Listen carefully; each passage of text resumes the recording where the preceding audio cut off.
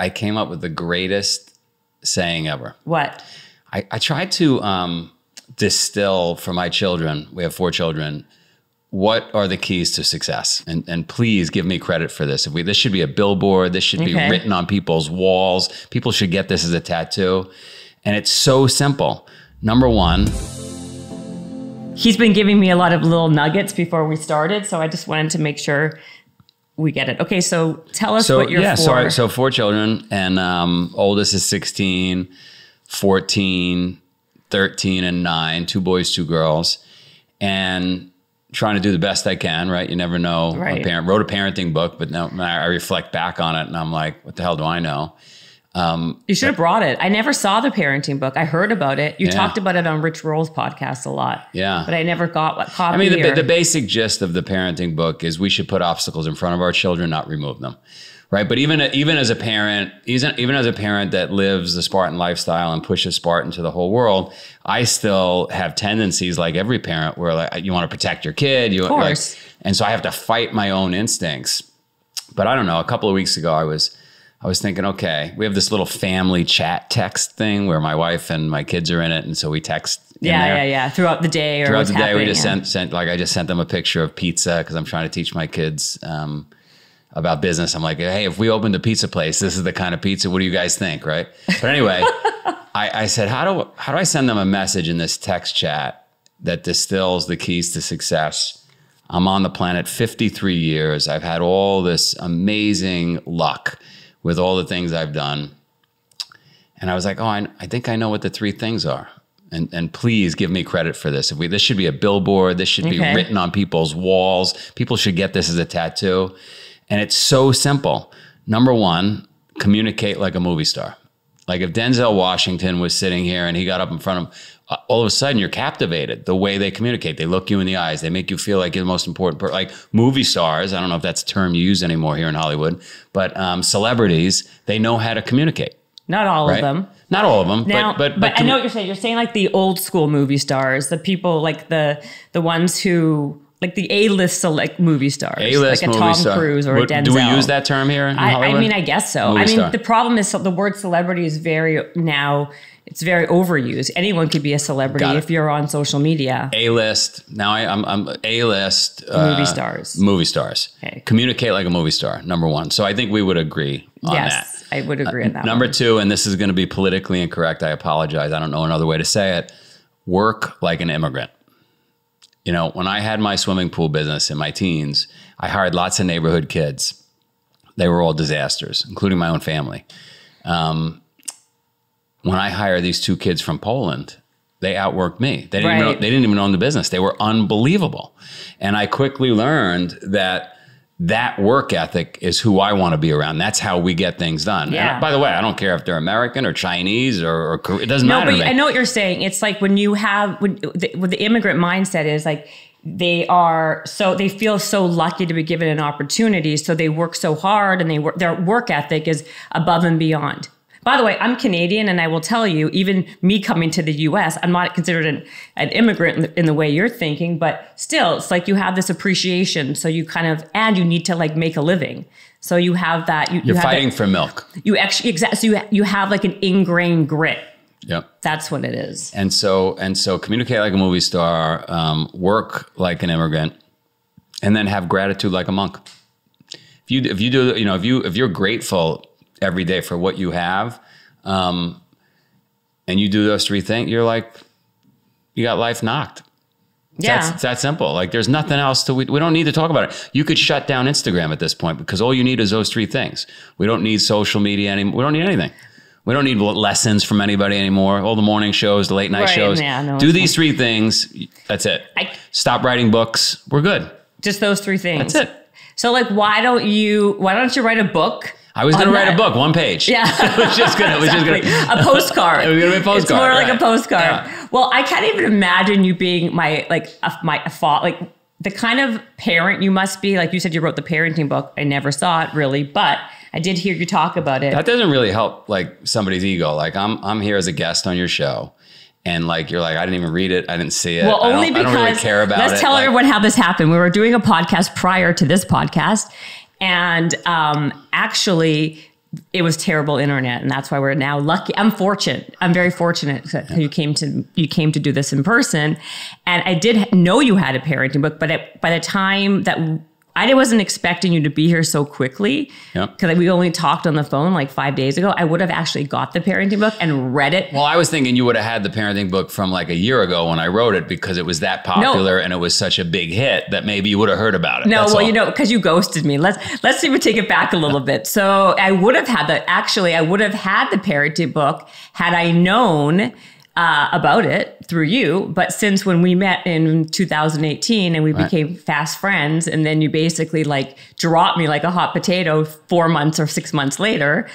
Um, I kind of like was angry and like res- you know and just kind of like went the, my own the- way. The truth of the matter is, although you're not going to believe it based on your tone, um, the uh, the truth of the matter is, um, because I get so many messages, true true story. Mm-hmm. You could ask my kids. My phone would lock up on text for some reason. It kept locking. I went into Apple five times. They erased everything. They gave me a new phone. When they did that, your name disappeared, like 500 other people. Yeah, So okay. I so I didn't see it. I don't know. Fair enough, Right. Although email, But the world did know about the book. Yeah, the like world- they didn't need me to text them about the book. It well, was listen, the world, I mean, listen, that's true, true, true. However, there's so many books that come out. And because I was, I already had like my backup towards you because you like basically just, like I said, ghosted me. That's what the kids say these days. How many times did you? Because when I when we finally caught up again on text, I could look at it now. It wasn't like you sent three texts. It was like I didn't respond to one of them, and all of a sudden that was it. No, it was two. It was two. So that no, after oh, two, you just shut a person No, no, no, down. Tell like I mean, what if I was in Greece? I will tell you more. I will tell you why. I emailed you Yeah. and and I think Susan was on that email, but I, I was totally just ignored. And social media. Remember, I asked you about social media, and you told check, me don't you don't check social media. social media. I'm surprised on the email though. That's that's surprising. See, it was like it was a Three plethora of Right. different things. Three different ways you try to communicate. Right. There was a pandemic. Yeah, but but therefore people Right. were on their phones more. I wasn't. I was doing five live workouts a day. Had you been following me, you would have known that.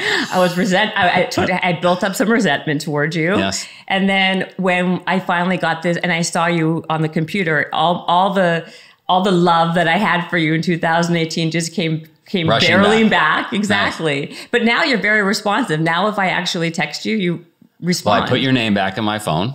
Okay, and well, that's now good. I, I see your name. Thank and, you. And I respond. I appreciate that No very problem. much. And and the world should know. I tell people all the time: if I don't respond, I either missed it, which is rare, or I died.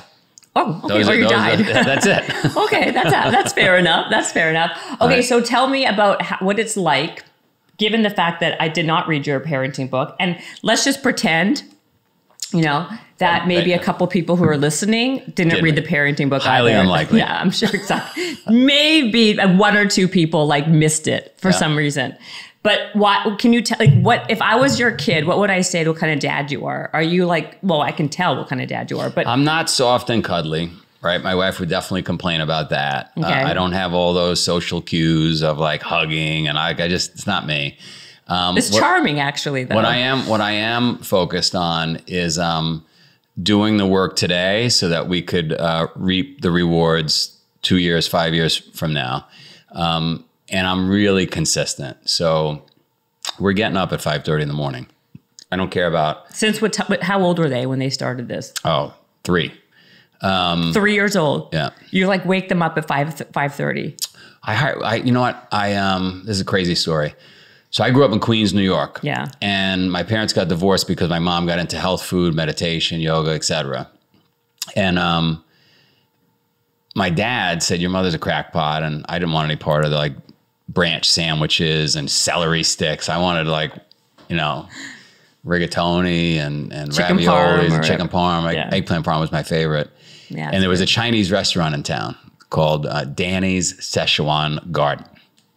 So anyway, Chinese food was like the thing. Once a week, you went and got Chinese food in little white containers. And my dad said, "Listen, I got you an account. You and your sister got an account at the Chinese restaurant. So if you got to sneak away from your mother, you go eat some real food." So I became good friends, as you could imagine, with Danny, the Chinese guy at the restaurant. We became for like a decade, with my buddy. And uh, so I get married. We've got children. We're on this farm. Our first child's three. I'm watching Kill Bill with Uma yeah, Thurman. yeah, I love that right? And Uma Thurman is carrying buckets of water up and down stairs, and she's getting yelled at by her master. And I turned to my wife and I said, "Why don't we get a kung fu master to live with us? Wouldn't that be cool? The kids could be trained in kung fu." She said, "How the fuck would we get a?" Kung? I said, "Well, I know this Chinese guy in this neighborhood I grew up in." So I called Danny. He's still got the restaurant, and Oh he's like, "Oh no, no problem. Um, where we get all our staff, I could probably get you a kung fu master." Gets me a kung fu master.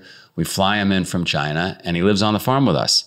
And the deal was 5:30 every morning. We're getting up. The kids are doing kung fu in the barn, and 5:30 every night, seven days a week. And it just became a thing. If we were going somewhere, we took the kung fu master with us. Like it was like 365 days a year. And I wanted all the lessons to be done in Mandarin. So Wow. so so that they because I had read years earlier, I had read um, Pumping Iron, Arnold Schwarzenegger's Yeah, yeah, book. yeah. And, and I was fascinated with the fact that he learned English by watching um, American TV. So I said to my wife, you know, maybe the kids could learn Mandarin by if we just create this Mandarin Environment. environment. And and so all the television, which was excruciating to make happen, was in you could watch as much TV as you want as long as it's Mandarin, which meant I had to go find DVDs when DVDs were a thing that um, were translated, uh, you know, uh, English Yeah. shows Oh, translated. wow. So we we I went to China to get them, but then you had to have a different DVD player. It was like a nightmare. Netflix didn't have it at that time where you could just switch over. No, So- we didn't have net by at that time. We didn't even have Netflix. yeah, well, they had right? Netflix. I think the video, like you could mail them in or something. Oh, but- the the red. Um, But all I'm saying is the the level of commitment to stick to say you're going to do something and then stick to it, where it's not not like 20 percent at a time, not 70 percent, 100 percent at a time. This is what we do. Like here I am in LA, and my I woke up this morning at like five, and my and my wife texted me. Um, she's like, "Oh, I missed the workout this morning," because she knew I was going to find out that the kids missed the workout, and I was going to lose my mind. Now, anybody normal listening to this would say, "Give it a break. Like, who cares?" But um, it's it's the cumulative effect of doing things over and over and over again that really have tremendous outcomes consistency. consistency. My my oldest son is getting recruited um, to a couple of really good schools right now. Which ones? I don't want to mention, but but um, which is which is amazing, and and it and it's solely because of what we did since he's three years old, um, and certainly look, Wow. he he's got um, he's got he's got lots of flaws, just like I do or you do, but um, but the one thing that the common thread that we've done for 13 years is you know speak fluent Mandarin every single day, work out like a nut, and now he's a wrestler, and um, yeah, so it works. I, my point is, it sucks. It's hard. Kids complain about it, but in the last three weeks, he sees literally last three weeks this has happened. He sees, oh my God, the outcome is unbelievable. I understand now why my father's a lunatic. No, number one. Okay, I just want to say something because I was teasing you before. This is why I really do like I. I really like you. I liked you from the second I met you because you you say what you do, you do what you say. Besides, of course, avoiding me, but like you are the real deal. Like you actually practice what you preach more than anybody I've ever seen. Like that. This is you and your DNA. Like they're not like faking By the it. way, by the way, um, I had a DNA test done recently, and and they give you the result like personality result. Yeah. and they were like, "This is exactly it." And I had a brain mapping thing done, and they were like, "Same thing." Like, Really? you are really like hardcore. what did the about- brain map say? And what did the DNA say? What was the kind of test? It was it was exactly that. It was like you tend to get on things and then not let them go. And and um, I am maniacal about that. and people can find that out by mo- People can find that out. Yeah. So then, so that would answer another question of mine: is that like, is it does it have to be innate? Can someone learn the skill to be like well, that? me- you know what? Recently, it's a great question, and recently I've come up with a great answer. okay, Um, you have children. How old are your children? chil- seven and nine. Seven and nine.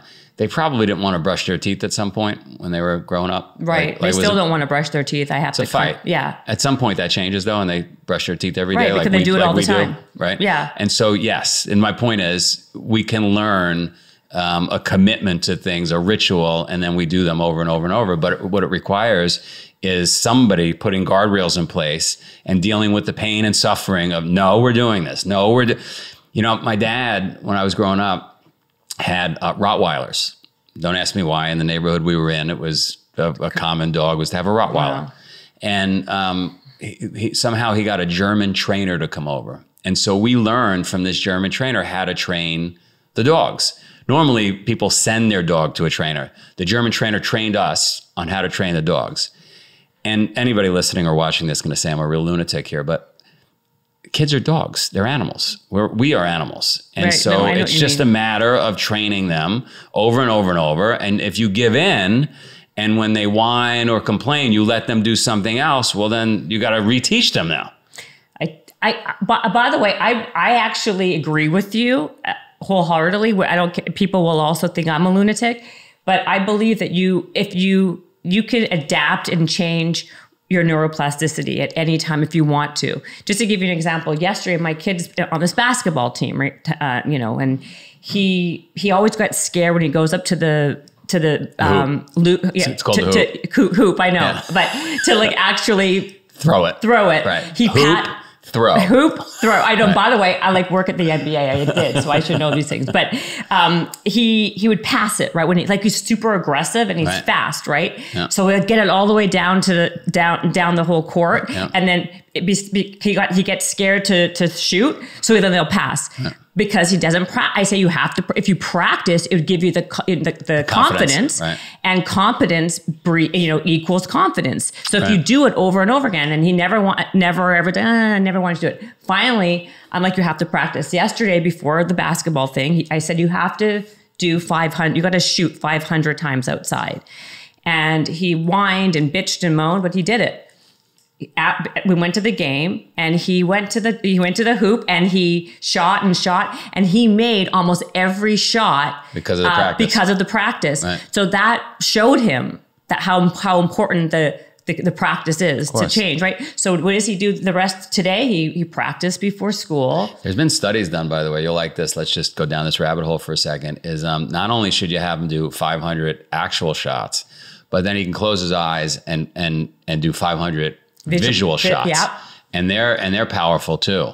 Very. as far as wiring the brain. And and so um, apparently there was a, a famous uh, Russian tennis coach Uh-huh. that would have the higher level kids um, not even hit a ball anymore, and they're just literally like swinging the racket, and that would help develop them even further. Yeah. So um, so anyway, just adding a tool to your No, tool belt. to the tool belt, to Yeah. the tool, toolbox. Well, no, Yeah. I think that's super important. The problem is we're living in a very two things in, in a culture where it's all about video games, it's all Yeah. about iPads, and to get people to to get off of that. Like I don't know if you've seen the stat, but isn't it like more than forty percent of kids now can't do what the kids.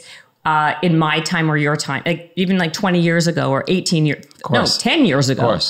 I mean, they're just, they're so lethargic. So I'm fighting. I'm I'm just fighting that whole thing, not just in my house with our with our four children, but but um our business. I mean, that's what we do is to try to get people off the Right. couch and to do these things. And and um and it's not easy because um so you, you might not know this, but and I didn't know this. The human brain, the number one motivator for for us is the avoidance of discomfort right? Which is why the phone is so uh, successful and why um, ice cream and Netflix and couches are so successful, right? Because they, Right. they help us avoid discomfort. So you can see how we got here. And, um, and it's going to require a couple of us to um, stand up and fight it. But that means there's going to be people around us that say, uh, "This is a crazy person. I can't believe he's pushing his kids like that." And I've had many instances over the years. I mean, my oldest son was eight and he ran the Boston Marathon with me. And you could imagine the looks and the, like. Did he look- really? Is it the same eight-year-old who's now going to be getting into a undisclosed college that they want him? That that kid? That same, yeah, same kid. Okay. Yeah. And then his brother at seven ran the New York Marathon.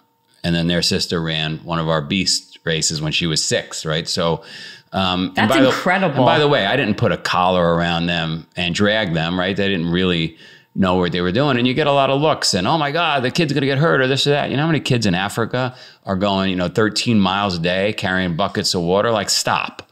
Stop. It's better that they sit on a device and sit on the couch for uh, 11 years of their life and do nothing. It's I, you're preaching to the converted. Right. In fact, that's that's what also is is increasing mental health problems. Is the is the iPad. My friend who's like this uh, very renowned child psychiatrist was saying that it's because of these video games and the and all the I, the the addiction to like the, the, screen that's creating depression more depression it's it changes the like the neurotransmitters in your brain well what happens is um our brains are not designed to get as many dopamine hits as we get like when that's earlier right. earlier in our generations on the planet we would do work and we would find an orange we would do work and we would kill an animal and now you don't have to do any work. You hit Uber Eats, you hit Uber, you hit this, you hit that, and you're getting constant, constantly flooded with dopamine, and that's got negative, um, unintended consequences. Yeah.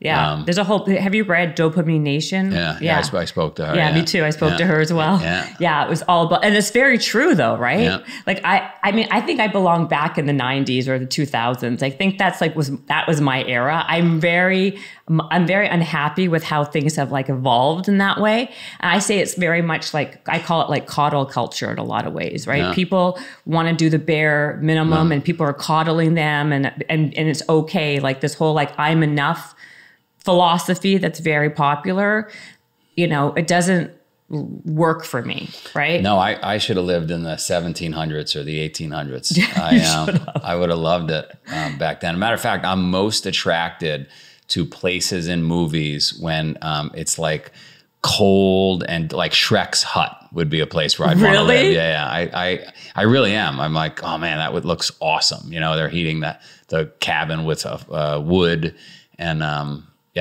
but like, yeah. where does it come from? Because I know you've done like 50 ultra, was it 50 races or yeah. 50 ultra marathons? And, yeah. but like, before you even created Spartan, right? Were you even like, what were you doing as like a, were you, uh, did you jog every day? Like, what, how did you kind of like inch your way into this like crazy, super crazy, endurance, so, so, um, adventure stuff?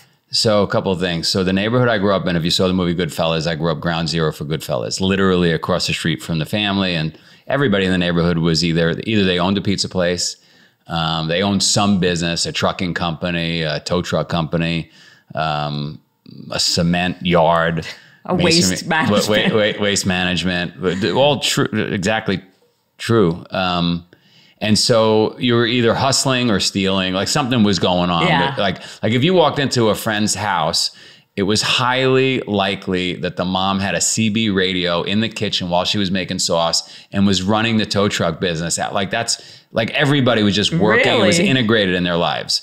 And so um Danny, Danny lived in his Chinese restaurant with his Chinese, you know what yeah. I mean? Like everybody was just working. Mom so that was my that was my my, my dad was wound up in all that. He had a trucking company, and um, mom finds yoga, meditation, health food, but she take it takes it to an extreme level, and she's like meditating for thirty days straight while fasting. She's running 10 miles a day. Her guru sets up a race in Queens, New York. That's a 3,100 mile, 3,100 mile run around a one mile loop that eight people participate in each year to show everybody what the human brain wow. is possible, uh, you know, uh, capable of. So, um, so anyway, I'm seeing all that go down. I'm seeing guys go to jail for 25 years. Again, that's, that's another endurance feat. 100%, right? yes. right? So, so whether it was running a business, whether it was going to jail, whether it was the risk of being killed, whether it was meditating, running 3,100 miles, it's no surprise that that um, I mean, in some ways, when you think about like um, a triathlon or an ultra run, it's like it's a catered training day. Every 10 miles, there's going to be food. We're out here and like, this is unbelievable compared to like my cousin going away for 25 years. You know what I mean? So true, but you don't see like, you didn't, you never saw like Tony Soprano getting into this stuff or any other good fella type of guy. You know well, I mean? one of the things that bugged me, again, because I had, I had, think about it, I had both sides. I had my mom, who's health and right, wellness nut, and, and then I had my dad. One of the things that bugged me was I would look at these very successful men, whether they were heads of organized crime families or owned businesses, and somehow uh, what ran parallel to them becoming successful was them getting fat and smoking cigars yeah. and drinking. Right. And I, I just remember playing a tape in my head saying, I don't understand why you wouldn't want to be really, really fit.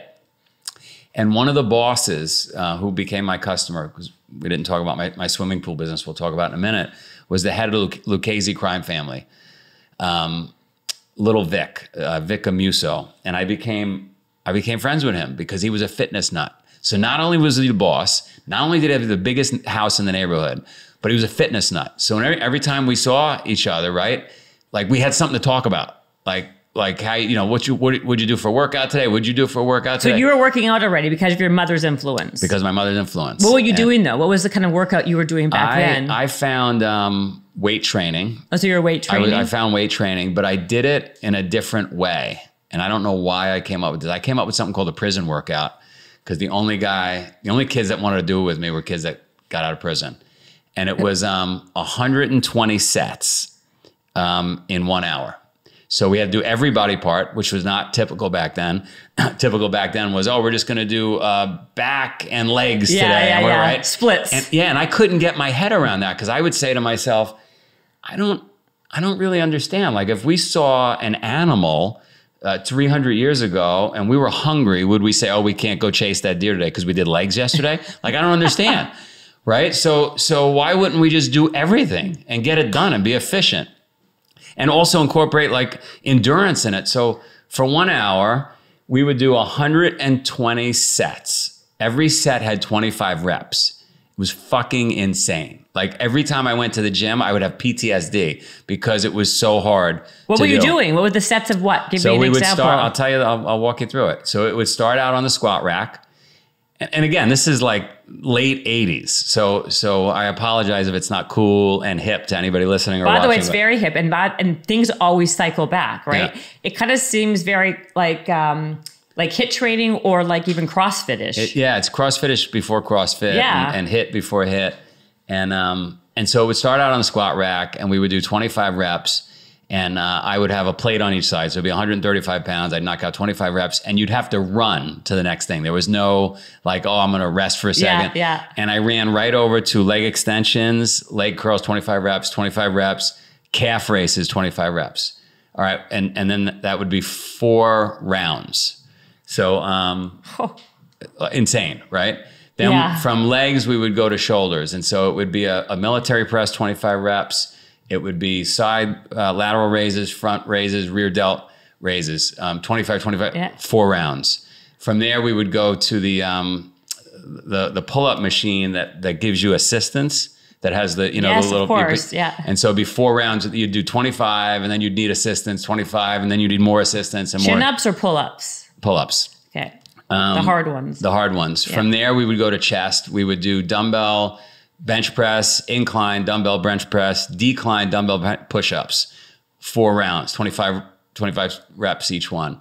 From there, we would go uh, to biceps. We would knock out preacher curl or stand up curls, preacher curls, chin, you know, uh, chin ups, um, and then dumbbell hammer curls, 25 reps, four rounds, and then um, and then triceps. And um, Every day? no, like every five- other day. Oh, okay. every other day. That's crazy. It was crazy. It was crazy. And there was only one kid, I forget his last name, John, who had just got out of prison, was the only one that would do this with me. And you and you're the one who kind of created and thought of I this whole created it. I had an hour. I was running a business at I don't have time. It gets me in incredible shape. It was the best I ever felt. It was unbelievable. That's amazing. Yeah. Why don't you do that anymore? It's fucking hard. It It's is really- hard. It's It's really pro- hard. It sounds super hard. But like, did, did- when did you stop that routine?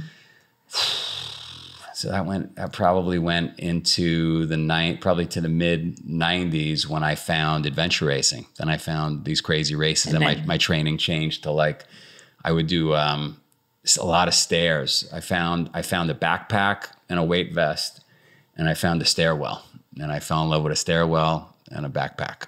And that was the end of that, the and- the weight that became, stuff. That became the, the end of that, and I lived in the stairwell.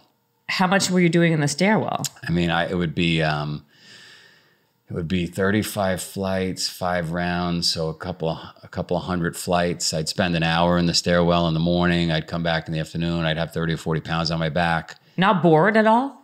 No, I put music in my ears, and th- those were always escapes because I'm such a workaholic, like building a business or whatever I'm always doing. That um, those are moments of meditation. Right. It's like I was going to say it's your form, my form of meditation because Yeah. I can't sit still. Can you? I can't sit still. Right. So that's like for me, I say running, anything that's like cardio or endurance. Yeah. Like that's when you can actually like think about Just everything. think. Yeah. Get back to water, food, and shelter. Exactly. No, exactly. It's true. But why don't, so then why were you doing a stairwell? Couldn't you find like stairs outside or just because? You know, there was something about um, the lack of oxygen in there Oh, was yeah. good. Was good, and um, and I just didn't. Ha- again, I was always trying to fit things in, like like the woman I described on the CB radio making sauce. Yeah. I was just my. I, I believe in work life integration, so it was like roll out of bed, right into the stairwell, knock that out, get to work before eight. You know, I just I just had to fit it all in. Okay, so I we like we we kind of jumped somewhere, but I wanted you to finish what about your kids because I think it's fascinating. Yeah. You said that they, you would wake them up at five thirty in the morning. Yeah. Right. Even at three. Still. Still, yeah. Well, now they're what? They're twelve. You said they're fourteen. 9, uh, 9, 13, 14, 16. 16. Okay. So what happens? You wake them up, and what do you do? You didn't tell us what you do. Work, workout. So Well, I, no, I what's the workout? It's not so- that so, 120 um, prisoner workout. Kung Fu master for four years. And then So what? That guy lived with you for four years, and what what, what did he do with them? He woke up. He it was woke up with them. It was almost like um, I don't know gymnastics, but it would have been like mat gymnastics almost. okay. Um, tumbling, single leg squats was a thing I remember him doing in the barn with them. so hard. Um, and the three year olds doing this. They were doing it. It was unbelievable. Grabbing their feet, putting it over there. I could probably find some old videos. You could, you could, you could. I, I got to get you old videos. You got to put it. You'll be un. It's unbelievable what these kids were doing, and um, they would hang from a pull up bar and they would do uh, leg raises, perfect, like fifty in a row. It was unbelievable. So that went on, which I would highly recommend anybody listening to this that has children. If you you have to put your kids, in my opinion, three years old to like seven or eight, they should all ever always be in gymnastics. Get them in gymnastics. Forget too. about any other sport.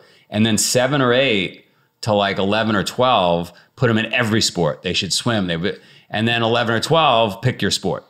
That's what I that's what I would do based on what I just went through. That's a great. That's actually a great advice, and I I agree. I'm trying to get them my my nine year old to Yeah. try as many things as possible. Do them all. Do everything. to see what he likes. exactly.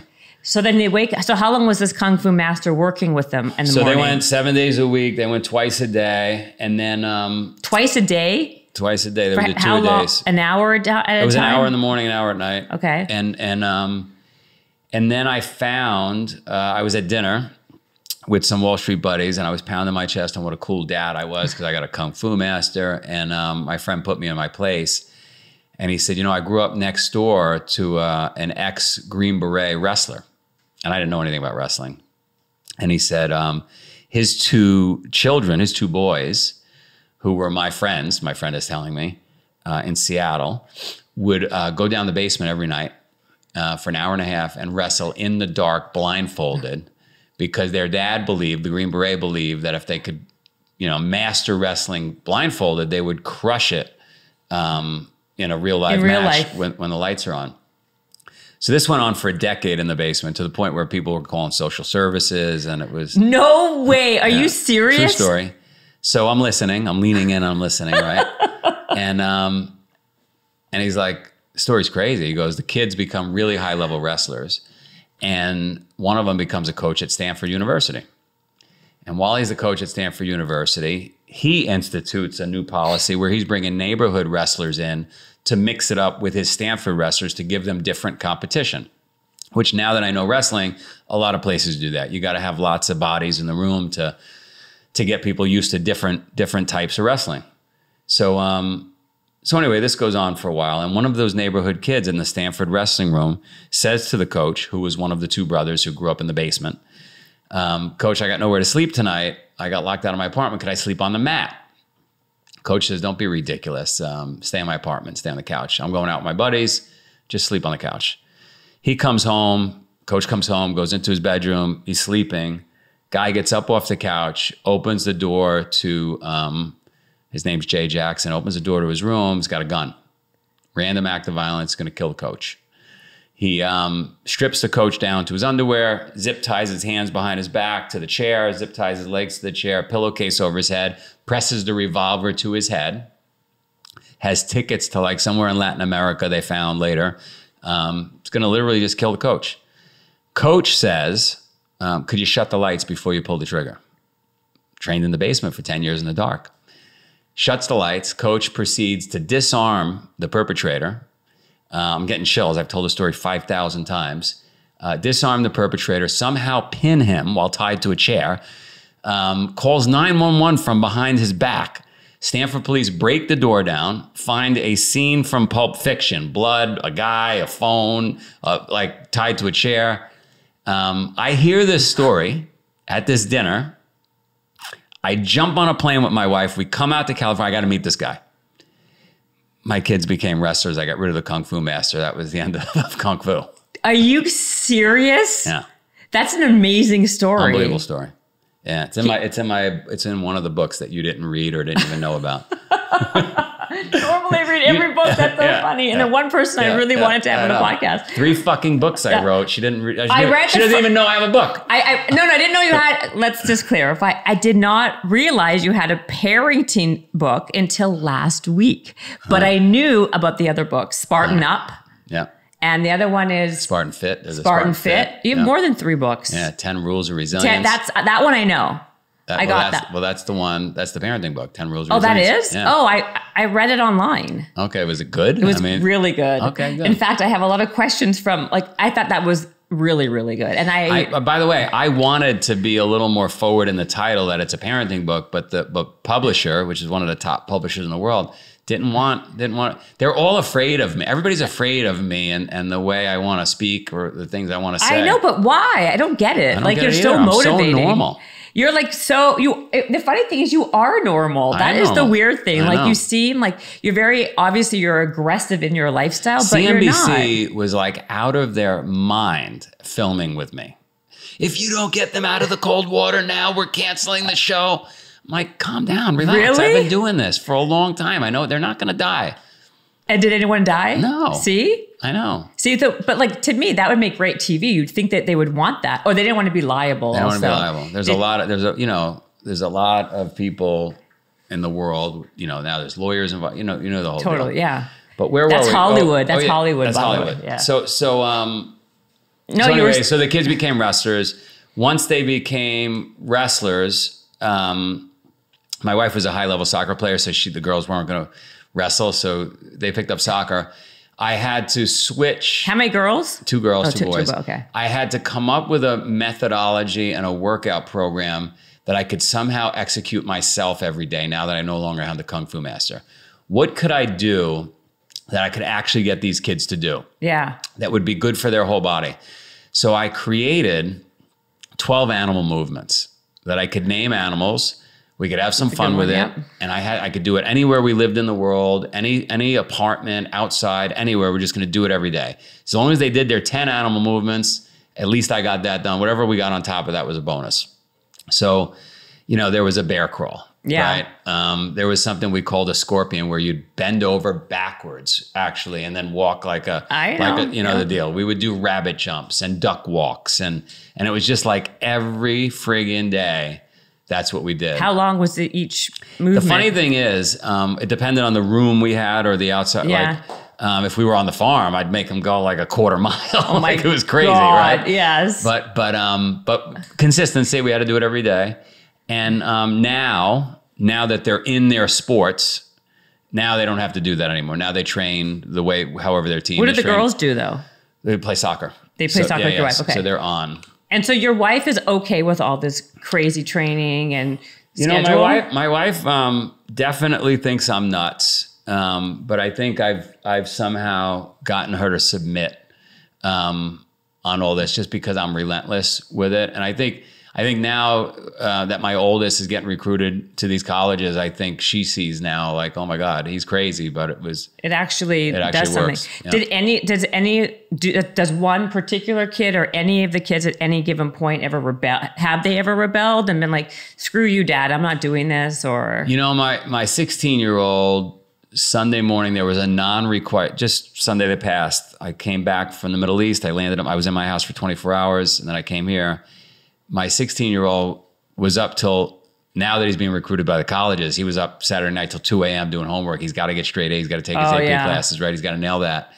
And um, Sunday morning, they were doing a 9 a.m. workout, wrestlers, non required, not, they didn't have to go. Right, right. And um, he's like, Dad, I got to sleep. And I had to fight my own instinct, was grabbing his feet, pulling him out of his bed, which I've been doing for whatever, 13 years. Do you actually do that? Like, like basically. Oh, I pull them right in, phys- because they don't want to do it. every day. Just pull them out of their bed. And um, I pull everybody out of it. I put, put turn music on, lights on. I wake the whole house up every morning. At five five a.m. It depends on, you know, it could be 5.30, 5.40. It depends on what I have going on. Even the kids. girls still. Oh, rip the girls right out of bed. Oh my gosh. And so, um, so anyway, I had to fight my own instinct, and I said, you know what? Let him sleep. He was up last night. He's doing, you know. So now um, we're getting to the point with him because he's 16 years old. Yeah. That um, now he's got now he's got to own it. It's- right, but he's it. already like you like you feel like he's a proven track. Like, he's giving you the proof. The know, proof he knows the, proof deal. the yeah, he sees it. Yeah. But does anybody? How about the other three? Do, Well, now the younger brother. Yeah. Now he's stepped. Now he's like, oh my god, I see now what's happening to my older brother. I, I got game on. I gotta. I gotta Really? work. Yeah, like that's happened in the last three weeks. are are any of them more just naturally, innately more like you? Like who would that you feel is like, yeah, you know what? Well, you know what's interesting is um, there's little components of me in each one of them. Really? But no, nobody has. Um, thank God for them. Nobody has the whole Joe. Right. Right. Never. Right. and, right. and they all have. They definitely all have my wife, who's much nicer than I am, much more cuddly, and um, is she the opposite of you in that? Like, is she like she's super? like, is she like a B personality? Like, She was type B? very high level at her. She was captain of her team in soccer. Went Final Four. Oh, wow. Penn State, high, very high level, but not because she trained every day. I shouldn't say that again. She trained at like kicking the ball and juggling the ball. As far as working out, that was not. Not her She was just talented, very talented, and very likable, and Right. and um, unlike me. and so when I look at the kids, my little daughter, and we should talk. We got to talk about this. My little daughter is zipping around on her little scooter. She wanted Yeah. a scooter. She got this pink scooter, and I was like, oh, you know what? I I used to have dirt bikes. Like she's riding those, like I was riding dirt bike. You know what I mean? She's Right. got that, and so there's each one of them has a little piece of my personality.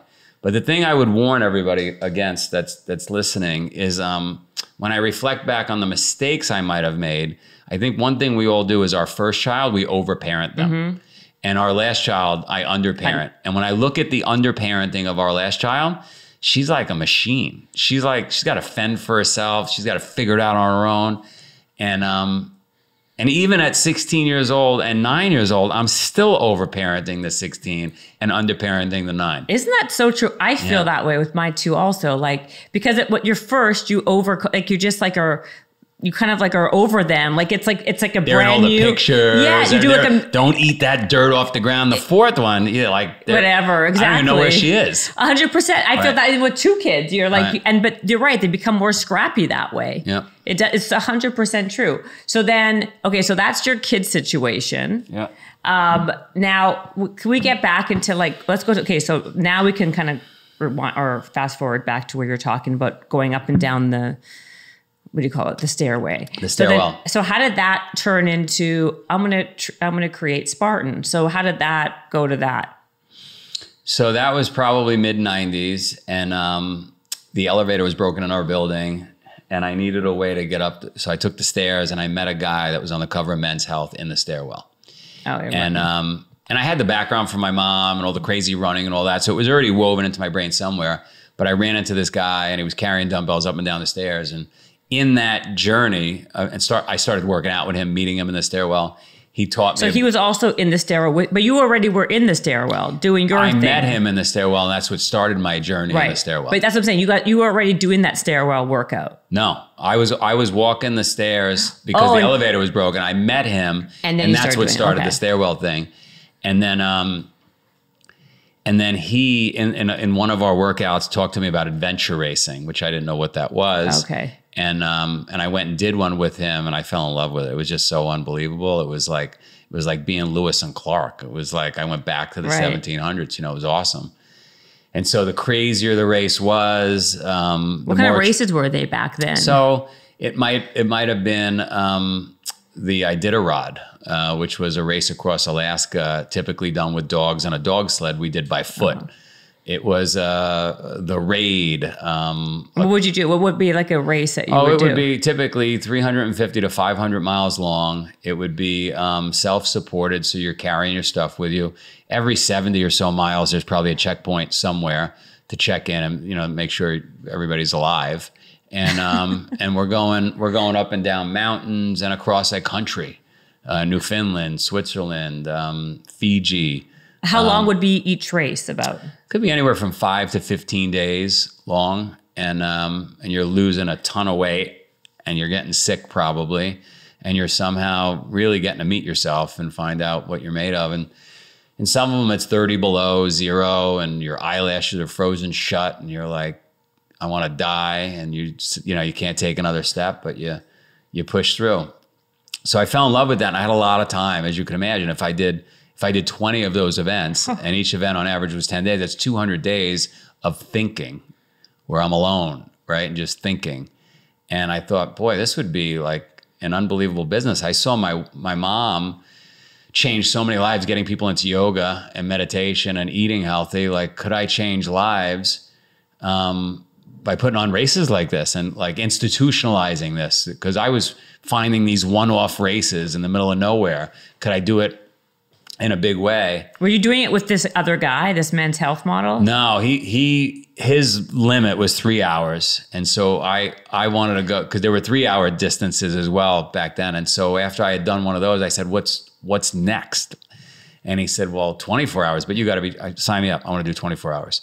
And then I did 24 hours. I, what's what's I need harder. What what's crazier than this? well, the Iditarod is uh, sign me up. I'm doing the Iditarod. Is it still around? Yeah. Okay. Yeah. So is he still around or is No, it's- Iditarod or oh, yeah, the whatever. Yeah. Yeah. yeah, yeah. You've you've you don't remember, but you've seen people have seen movies of the Iditarod rate. You know, the dog. They typically, you know, they they get on a sled and the dogs are pulling them through Alaska in the middle of winter. But this was without the dogs. This was by foot. By foot, yeah. I probably have seen it, You've but seen now, it. but now like Spartan, like that's like much more embedded into people's like well, psyche. so so I'm doing these races forever, and then and I'm Never got hurt though.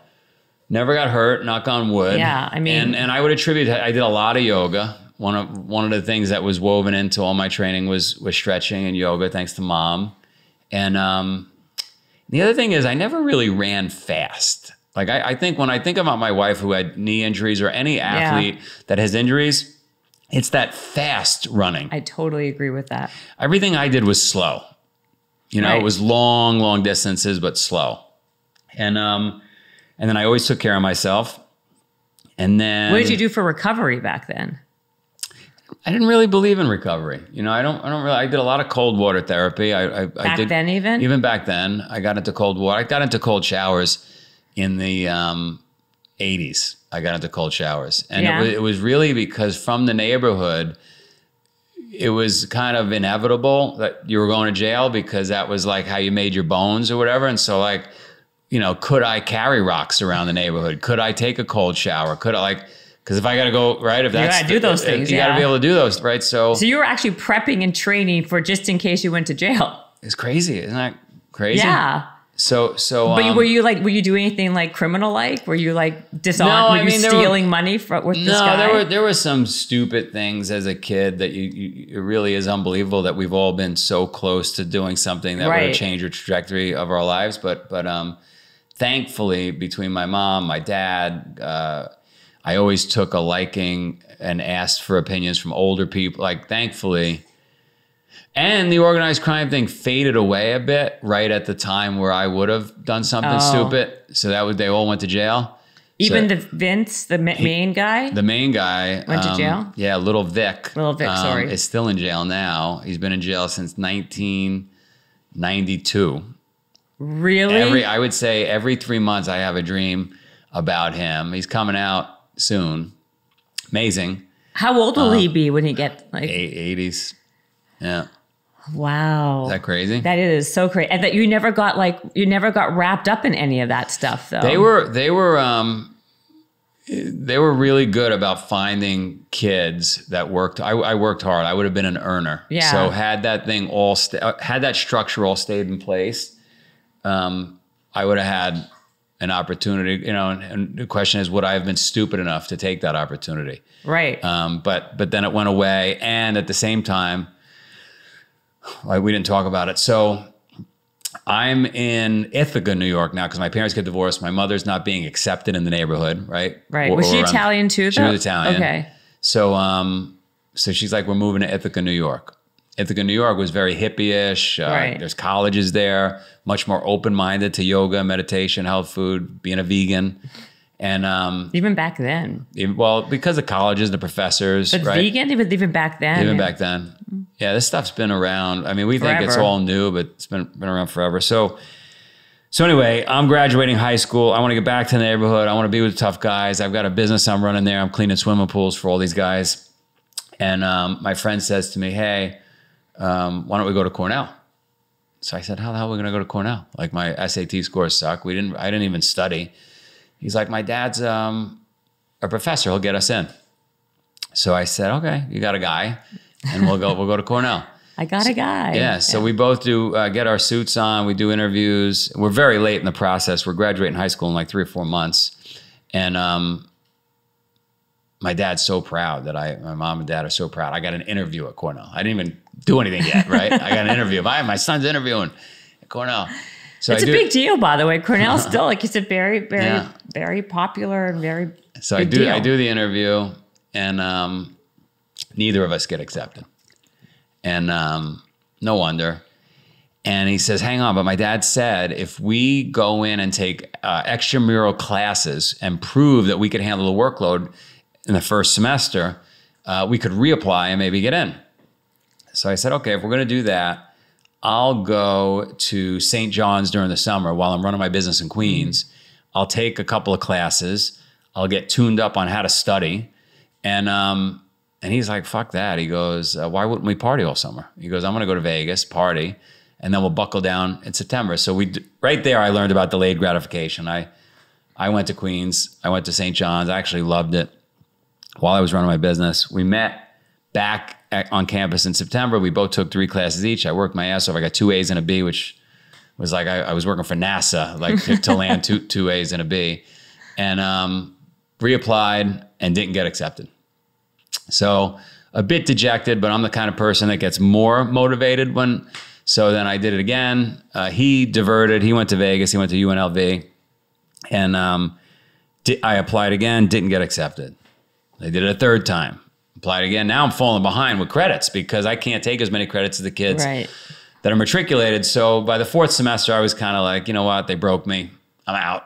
Um, told my dad, I don't know if I told you this story last time we talked, but told my dad I'm coming back to New York. My mom got upset because mothers never want to lose their kids, right? Right. So she's like, go meet this woman, Anita Racine. Uh, I teach her yoga. I don't know if she could help or not. Uh, Professor Anita sits me down. She's like, I'm looking at your transcript, not your transcripts, your, the, the records we have. And um, she's like, Do you like textiles? I didn't really know what a textile was. She's like, Because I run the textile department in the School of Human Ecology within Cornell that has 92 women, and we're looking for diversity. We need more men. I was like, I love textiles. right? Kidding me? Yeah. So I, I, um, she accepted me, and I studied uh, women's hemlines for the remainder of my my time at Cornell. Graduated. So what's your degree in text in, in like Um, Well, it's a bachelor of science anyway. in fashion? Well, there was a fashion component, but um, most of it was business, the business of textiles, a little bit of science, where we studied chemistry and stuff, right, to see how fabrics are made and how threads, you know, uh, are made. It was pretty. It's pretty awesome, and still to this day, I can tell you the uh, era of any movie based on women's hemlines because I studied so much of it. The juxtaposition between that and your life is know. just Crazy. it's like just it's it's like not surprising actually. Like in It's real awesome. It's amazing, but it's like I'm not surprised to hear this. It's crazy. Your whole life has been like kind of Crazy. cuckoo, right? Cuckoo. So so um. So net- basically, you have a degree. You have a degree from Cornell. I have a degree from Cornell. I got my four years done, which was again monumental. And then, um, and then I met a guy while I was there. You're always meeting a guy. I always meet people. I talk to everybody, and um, he guided me to go to Wall Street. And so, um, so when you asked the question earlier, like, you know, how did you not get mixed up in all that? yeah. At the same time, that was 1990 when I graduated. Most of the guys went to jail early 90s. Um, at the same time that was going down, I was getting pushed to Wall Street. So, um, so I ended up finding a job on Wall Street. I ended up selling my business to the Polish kids who had worked for me. Wow. Um, they still run the business today. They've done incredibly well. They still have the business. They still have the business today. And I, um, you told me you sold it for like five hundred thousand. five hundred thousand. Yeah. I stay in touch with them, and um, and I went to Wall Street. I had a a great run on Wall Street. That's where I met the guy in the stairwell, and and got into adventure racing. And it was a way for me also on Wall Street to escape reality and go like be in Alaska or being. I was going to say, but you just kind of answered the question: Are you a loner? Just because when you spend that much time alone in your thoughts, when you're doing all these adventure races, and you're like in for days on end, you're just having to think on your own. You would think that people who gravitate to that are people who like to be by themselves. But you're a very friendly person. I'm friendly, but I but I, but if you give given the choice, like when my, my wife is the opposite, and she loves to hold people over and big dinner parties and this and that, and I'm like by eight thirty at night, I'm turning the lights off, picking up people's plates, and trying to get them out of the house. Like I'm not I'm not really interested. right. Um, that said, I like meeting you and talking to you, and then I'm like, I'm going to turn you off and not text you anymore. I'm kidding. I'm kidding. I'm kidding. But but I am. I would prefer to be in that hut on the mountain and just chopping wood for Right. meat. I would prefer that. So if you had your druthers, so like basically, like I guess your wife's a good. Like, do you think opposites do attract them? Because if she's, and not just with you guys, but I, I, I always think about this anyway. Like, is it good when one person's more introverted and the other one's more extroverted? Like, what do you think about opposites I think I think a couple of things. Like number one, I had an amazing childhood in that I I cleaned 700 swimming pools, 700 different houses. I got to peer, you know, look into and see which families mm. worked, who got divorced, who didn't, who went to jail, who didn't, which kids were successful, which weren't. And so I got to to, to think a lot about what are things I want to apply to my life. And so um, most people were getting divorced within those 700 homes. And so it is amazing that um, I've been able to stay together for 20 years with my wife. And I think part of it is I travel a lot, right? So you get that little break, whether it's five days, 10 days, whatever. I think that's great. And then two is I think the fact that we are opposite so that, and then somebody's got to, somebody's got to bend. Like I'm a pretty strong personality. Right. And so the fact that she bends and allows me to be difficult is is awesome. Um, your next guest is here. Yeah, do I I, do I get That might- ejected? do I get ejected at this point? Do- Yes. She for you for those that don't know it, there's literally a thing under my seat. You're just going to see me disappear. you think it's important to have someone who can bend. You're not a bender, okay? So that means you think opposites do attract. I think so. I think, um, yeah, I think it would be really if, if if my wife was similar to me, we would have never lasted. Yeah. No way. We're, we're just it would be we'd lock horns and it would right. It would It'd just be too much of the same. too much. Um, she's so um, malleable. right and, and then, like yeah so like but like at the same time if you like to run and do activities and someone else likes to like sit at home and watch netflix it's not going to be it's I mean, going that, to I work mean, that- either I mean, that's a tough one. Look, I'm pretty intense. You guys have heard me. Like, I want to Yes. work out every day. I want to be consistent. She's not like that. Doesn't mean she's not going to work out, but but for her, the workout is much more interesting if it's a social thing Right. and she's with people. And I don't need anybody. Right. I don't want anybody. Like, if you're with me, great. If you're not, I don't. I could care less. what kind of workout do you do today like what's your workout now So I get on I get on kicks and um, in this wrestling room, uh, we I think we talked about it the last time we spoke. I moved to Florida recently because I couldn't get my team to come back in the office in Boston. no you didn't tell me that Oh. i want to actually i want to get to all the spartan stuff in your business we haven't even talked about that yet So our business was located in Bo- is located in Boston and um, for many years and and when where's your farm i thought you had a farm farm is in Vermont, 3 hours from the Boston office. oh It okay. started in Vermont. It moved, it became an official office in Boston, three hours away. And then um, during the pandemic, no one came in the office, obviously, and right it was driving me a little nuts. Except for my assistant Susan, who you spoke to, who religiously was there every friggin' day. Hmm. Really? she's a maniac, and um, she's awesome. I I hold up on the farm with a, a bunch of staff. And we just had cameras going like this because I was doing live workouts every day to stay in touch with our community. My little daughter, the maniac, she was running a live workout every day. She was getting Really? millions of views. She's a she's a beast. And The, um, ni- how, the nine year old or the other? nine year old who was seven or something. She's unbelievable. She was doing got- workouts live. Live. She's got the personality. She talks into the camera. She's unbelievable. What kind of workouts was she doing? Like workouts, like stuff. Are you Like, I- we- We, should we should edit we should edit something in here. You'll love it. So so um so so I'm on the farm doing that. Susan, my assistant's coming into up. nobody else is coming in. Pandemic is coming to a conclusion, and I'm trying to get people back in the office. But who moved to Maine? Who went to Minnesota? Who, Mm-hmm. And um, I'm losing my mind. I can't get anybody back in the office. So I said, where could I move and kind of reinvigorate a culture and, and people that want to come in because I, I, I'm old fashioned. I want people in an office. And so I found this place in Florida and um, Where in Florida? Lake Nona and Winter Park. So um, it's it's Orlando, uh, outside, right outside of Orlando. Not a place you and I would ever pick in the world to move to. So you live in I Orlando live in now? Orlando now. Yeah, I mean, we kept the farm. We'll go up to the farm uh, two, three times a year. Wow. But um, but we're in Orlando. We found the greatest school in the world, literally the greatest school in the world. It's called Lake Highland Prep.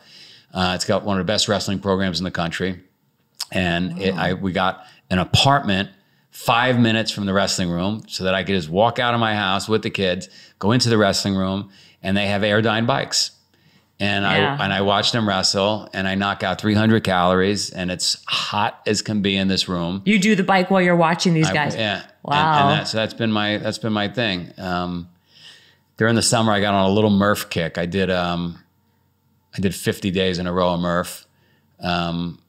Tell na- people what that is. So Murph is um, a 300, um, 300 squats, uh, 200 push-ups, 100 pull-ups, and a two-mile run. And so um, early June, I got on a kick of doing Murph every day because there was a guy I met in Florida who was doing it every day during the pandemic. And It pissed me off. So then I said, I'm going to do it every day.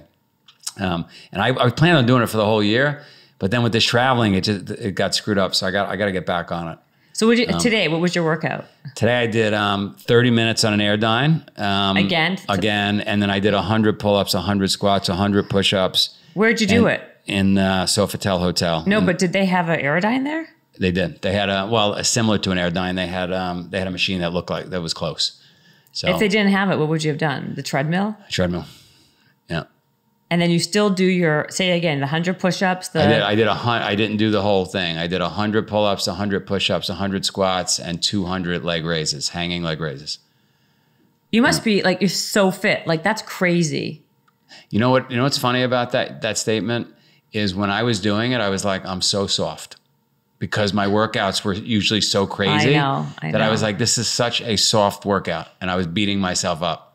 So it's funny you said that. It's all relative, right? Yeah. To what Yeah. I do that to myself all the time, by the way. So then, okay. So then basically, once once you finish your workout, what other Ice cold shower. no, but wait, wait, wait. What other activities are you doing movement wise during the day? Well, I'm always? I'm always going to take stairs. I'll, I'll typically hit a second workout if if my life allows it. Right. If I um, Right. If I come back from work, the kids are wrestling again. I'll go into the wrestling room. Um, and I'll typically hit a second workout. But uh, you know, again, the last seven eight days I've been traveling all over the world, so it hasn't it So- hasn't happened. But you still do the one workout. No. I always get that workout done. So do you ever skip a day? No, Ever? no. Okay. And then you're saying you do a cold shower. Yep. What else do you do? Uh, I knock out a cold shower. I try to eat a ton of salad. I try not to eat till 9 a.m. in the morning. Um, and I try not to eat too late, but I got in late last night and we ended up having an 8 p.m. dinner at a awesome Mediterranean restaurant Where? here. I don't know the name of it, but it was awesome. Who are you here with? No, I came alone, but then uh, again, like you, people always want to. Hey, you're going to be in LA. I, can I can I pick you up at the airport? Yeah, come on. We'll go. Oh, so- okay, okay, okay. So you had like you had dinner with somebody, Yeah, whatever. yeah. Okay, and then so you so in terms of like other habits and we even okay, we're gonna get to the Spartan stuff in a second, but habits are you work out at least once a day. How long is the workout minimum? Minimum an hour. Minimum an hour. Got to sweat.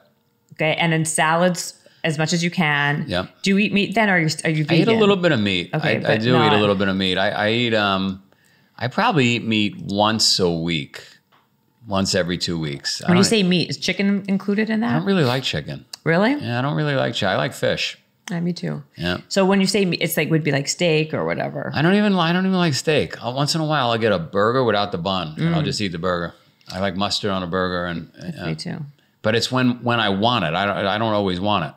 Do you have like do you like do you have a big appetite or is it fuel? I have a ma- it all- I have a massive appetite that's starting as I get older. I'm starting to thank God because I used to eat ridiculous amounts of food. That's me too. Um, it's hard when you work out a lot. Don't Yeah. you get hungry? I mean, for me, I'm like starving, so I end up gaining weight because I'm like I'm Yeah, I'm eat eating so time. much more. Yeah, I'm um I'm getting better with it.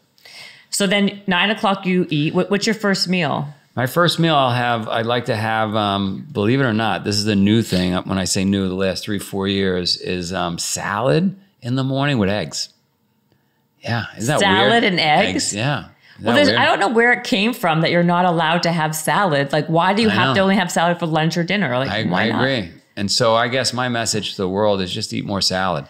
And um, That's your big message for the day. for the day on, on, the- on the nutrition front. Yeah, I would know, I'm just be eat, you. eat more salad. And um, I don't eat much fruit anymore. Uh, Is it because of the used to- sugar Because of the content? sugar. so do you feel like, but why? Is it because you I just feel, feel better on salad than I do on fruit. yeah, because vegetables Yeah. it's like less, yeah. Yeah. So then your insulin is more stable. Yeah. So then do you eat lunch or I'll eat lunch. I haven't eat, I haven't eaten lunch yet today um, because you you're so hard driving. With like Yes. I wanted to eat and you were like, no, we have to do the podcast now. and so um, I, you know, it is screwing my entire I nutrition apologize. up, but It's okay, I know. I I haven't eaten yet today, but I but I will. And uh, what would I have had for lunch? A Greek salad would have been amazing. I love Greek salad yeah, I love too. Greek salad. Um, Do you eat dairy or is that like not very allowed? little. Okay. I, I will once in a while eat uh, yogurt. I like yogurt, um, Okay. but not every day. How about oats? What's your what's your thing You on know oats? what? This is surprising. I was trying to stay away from oats, and I got a buddy who's a big uh, oatmeal person, and I found um, I found this oatmeal that has flaxseed in it and chia seed and everything already prepackaged, so it's easy. What is it? Uh, Bob's oatmeal. Oh, Bob's oatmeal. yeah, and Yeah, it's got it's got like pre, popular, yeah. pre prepackaged, and you just put hot water in it, and um, it's it's great. Really? It's awesome. Do you feel bloated after no, you eat it? it's awesome.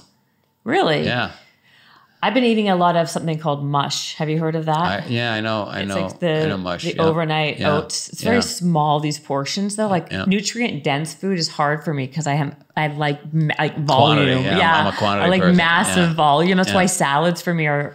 But it could be a giant salad. I no, I know. I eat Yeah. my, the salad. Oh, you I, like I- salads. Yeah, Yeah. I Yeah. mean, I look like I'm like a horse with a trough, like literally like a bowl that is I'm, size. I'm and- with you. You want to know Yeah. another secret to salads? I don't know. Yeah. So I like capers. I don't know if you like capers. I like artichoke I hearts. love, of right? course, and like hearts of palm. Hearts of palm, right? Yeah, And then what you do is put it all in there and get a scissors and then and just start of chopping the whole that. thing up with a scissors. Yes, it's And- called a chopped salad, honey. It's fucking awesome. It's amazing. By the way, But the scissor is better than a knife. Wa- no, of course, because Yeah. you're chopping it. Yeah. But you can also like take before you. takes put- forever. Scissors so easy. Put it in the bowl and just start chopping away with the scissor. that's a very smart idea. Actually, I've never tried it with scissors, but I do love that idea. So I am a, like I, I I'm a big believer in the salad thing. Do you like jicama? I like jicama too. What the hell is jicama? Really? even know what So jicama- jicama is like between an apple and a potato, but like much more water content. I didn't even know about it. I gotta. I'm gonna have a jicama. You've never had one. jicama? No. Oh my gosh, really? Yeah. Well, I just taught you something Yeah. because it, it's delicious and Jicama. it's a All right. very it's a volume again. Like I need to eat food with volume. Volume. Yeah. And you know what? I would prefer. I got to tell my wife um, because we've been doing right. I adopted three kids unofficially in the last month. Um, Like, bec- bec- really? yeah, because of the um, God, the school program we have. They don't have boarding, and because the wrestling is so amazing. There are families that want to be there, but they can't. Oh, so they want to send their boys. So that where do we put our boys? So I, I said I'll take three of them.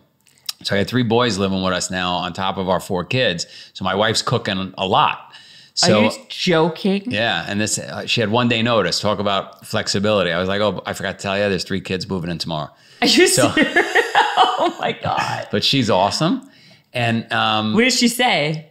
Okay, I guess there's three kids moving in tomorrow. Where are they going right? to sleep? Um, we got an apartment next to our apartment, and uh, so they're in they're in that apartment. So um, Wow. You must be making lots of money at Spartan. I, I don't make any money. we No, got to talk about that. I know. So um, the reason I bring it up is because she's been cooking rice with the other things. She, Yeah. I like quinoa better. Me quinoa too. is so much better. It's so, fill, it's also filling and Yeah. it's much more nutrient. It's, I love it. It's very so we got to get rid of the rice. We got to go all quinoa from That- now on. That's a good idea. Do you drink coffee?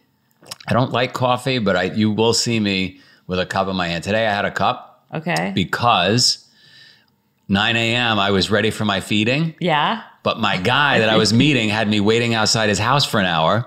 So um so I was like, I gotta have something. So I had coffee. Um, but I don't I don't like the taste of coffee. It's too bitter. Really? Yeah, I hate it. So you, how about like just in general, like caffeine? Does does it help you? You don't like to? You like to stay away? You know what? I could drink a cup of coffee. Let's say I did drink a cup of coffee and I was tired. I pass right out. Doesn't affect me. It doesn't affect you at all. No. Wow. Okay, so wait, so let's go back now to Spartan. Okay, so here you are, you're doing all these adventure races. You think, okay, I'm going to try something to So, help twen- people. so 22 years ago, 2000, I'm on our farm in Vermont. I met my wife at a race.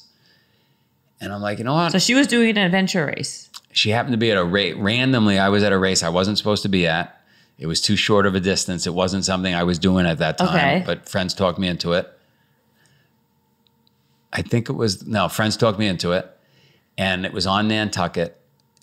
And I, I, I did a swim in that race that I wasn't supposed to do because it was a relay. So let's say you were on my team. I was doing the Yeah. sandbag carry down the beach. And then I tagged the person who did the swim, but I was standing there saying, I didn't do enough today. I'm going to do the swim anyway. So I jumped in the swim. I swam across the, the bay.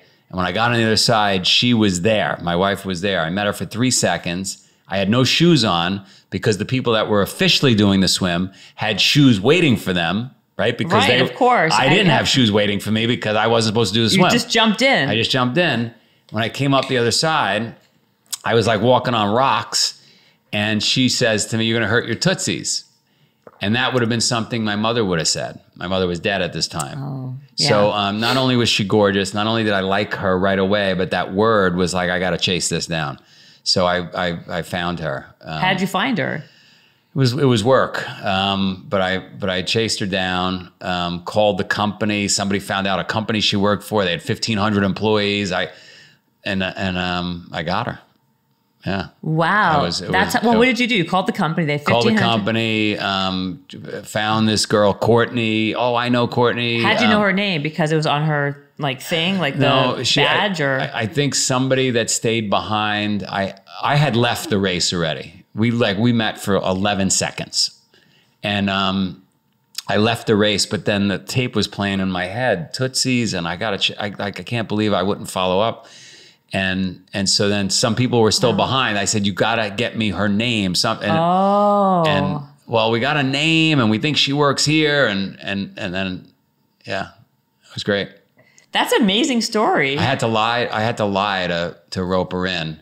I said, "Oh, I'm starting an all female adventure racing team, and you looked really fit.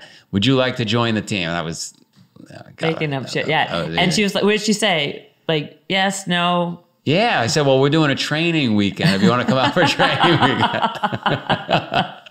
you know, we got to make sure you would qualify Right, for right, such a right, team." right, right. You Uh, got audition, audition for Yeah, it. exactly. That's so cute. And it's like what? How many years later? 20, 22 years later. 20, Wow. 20, yeah.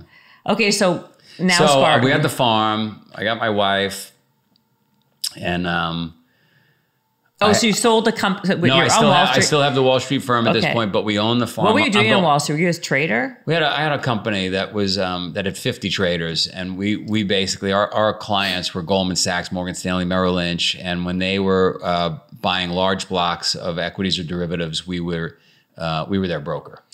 So we traded Okay. between the banks. Okay. Um, How did you grow a business in that world, like Wall Street finance, being You a pool cleaner and a home ecology uh, major? Human ecology. So I, I um, oh yeah, human ecology. It's ecology. funny. I just yeah, it's it's funny. I think about it because I think about my children, right? Our children. How do, how do we teach them? But again, think about the neighborhood I came from. You figure it out. Fig- so basically, your whole life was just like Just figure hustling and figuring it out. Like Yeah. it wasn't like there wasn't any playbook. You just kind of figure it out. You, you, you ended up there, and you're like, okay, now what? And just Yeah. one step led to another, and Fire ready, aim. yeah, And so that's and your big thing, right? my big Fire, thing. F- Fire ready, aim. I like that. So so um, Your other thing is if you are on time, you're late. Which and I see now fire ready, aim. I see who's the actress from Australia that's in. uh, She's got her own. She's a superhero.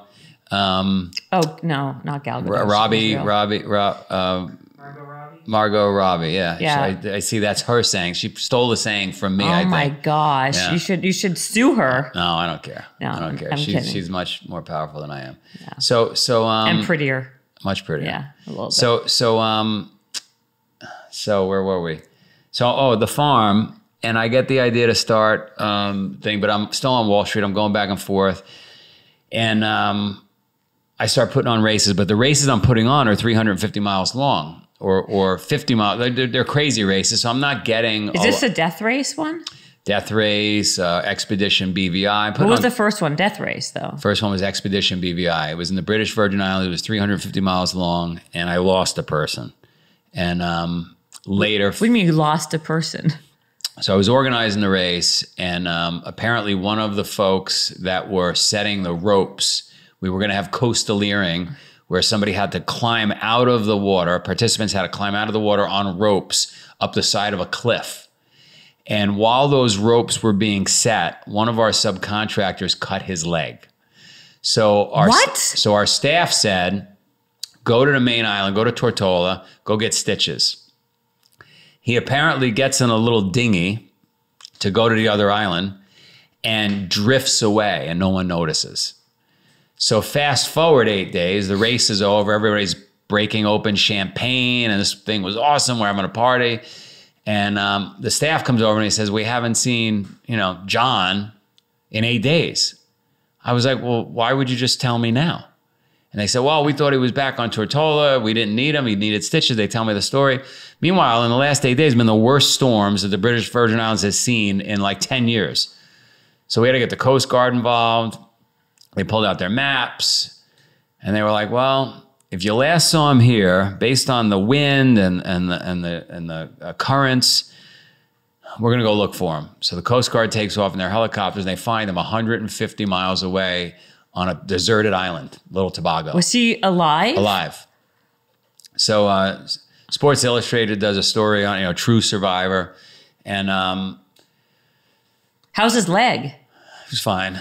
And, and we didn't get sued. And so everything was good. And clearly it was an omen for me not to put on races anymore. Um, Clearly. right? But um, but I'm a glutton for punishment. So then we we did a second race and a third race and a fourth race, but I couldn't get enough people to come to make money. I wonder why. I wonder. I couldn't get it to work, It's and so crazy how that is. so for ten years I kept putting on races, putting on races, putting on races. None of it was working. How many people were showing up? 20, 30. I just couldn't. I couldn't get it to work. In you 2000, charging people? Yeah, I How was, try- much? I was trying. I was lying to people. I would tell people they were coming to a barbecue for the weekend, but I mean, I did everything I could, but people wouldn't come. oh my gosh. So in 2010, I changed the name to Spartan. I added the obstacles. We changed the format. We made it three miles, eight miles, 10 miles, three miles, eight miles, 13 miles. And um, boom, 700 people showed up. And then Really? 1,500 people showed up. Showed up where? Like, what was the first, First one? race was in Vermont. And was um, it your farm, the first It was race? up the street from the farm. Okay. And um, Wow. yeah, and then How did you promote it? we knocked on doors. We went crazy. We did radio. We did social media. We didn't have social media back then. Yeah, in 2010 we had a little bit of social media. What did we have? No, we didn't. When, when did Facebook start? Yeah, Oh. yeah, Facebook was going. Yeah, it was like 2008, what? 2007. Oh yeah, MySpace, Facebook. Okay, so Yeah. so basically just changing the name and just creating Changing the different levels. and making it more accessible, so it wasn't 350 miles; it was three. Right. Right? Much easier. That, helped. yeah, a little. what happened to Death Race? I thought that was the first big one. Expedition BVI was the first big one. Oh, after that, I mean- then Death Race, Death Race. But again, that was hundred people would show up to that. But in Yeah. and that had already been running, and it was something I do every year on the farm. Uh, but that's only for crazy people. And then, but 2010 was for the masses. That was Spartan. Okay. and uh, grew it, grew it, grew it. By 2015, we finally could make. We were making some money. By 2015, we were. Um, Well, between two, 2010 and, and 2015, how many people were now showing up year to year? oh, now I was getting 5,000 people, 7,000 people, 8,000 people at a race. And how many? Because when didn't a private equity company come in? They came in in 2012. They helped me keep it alive because I was running out of money. I Yeah. was burning so much money. How much does it cost to put one on? 600,000. To put on one race? Yeah. Wow. And so, but if you put that on, how much you how much is the hundred dollars. So if you have six thousand people, you break even. You're breaking even, 7,000 right? So yeah. you really weren't making money. weren't you bringing in sponsors back then, or no? I was, but it, it, I just couldn't get the economics to work. Right. But um, but I kept I'm a glutton for punishment. Just kept doing Right, it, kept kept, doing, doing it, it. kept doing it. And, uh, Relentless. relentless. And then um, by 2018, we were on top of the world. We were like, oh, this is working. 2019, we bought out our competitor, Tough Mudder. Um, banging our chest. We did it. We fought through. I was going to ask you the, the the when you guys were like neck to neck. Like, were you guys who was more back then? Were you guys like they were neck beating us. They were beating They us. were. They were beating us everywhere.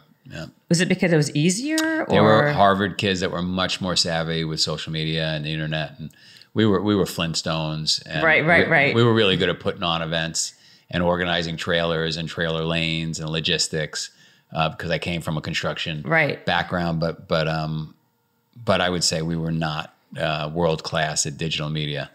Um, but uh, they were they were a little too full of themselves. Uh, they pulled a bunch of money out personally for themselves, and it hurt their business. The opportunity came up to acquire them. We did, uh, but then the pandemic hit, and the pandemic uh, cost us fifty million dollars, which we didn't have because we never made fifty million dollars in those in those years. Uh, the government was kind enough to have all these programs to help us. Um, they wait, went- wait, wait? Why fifty million? Why? Where's well, so number? imagine imagine in 2020, right? imagine having sold 35 million dollars worth of tickets, right?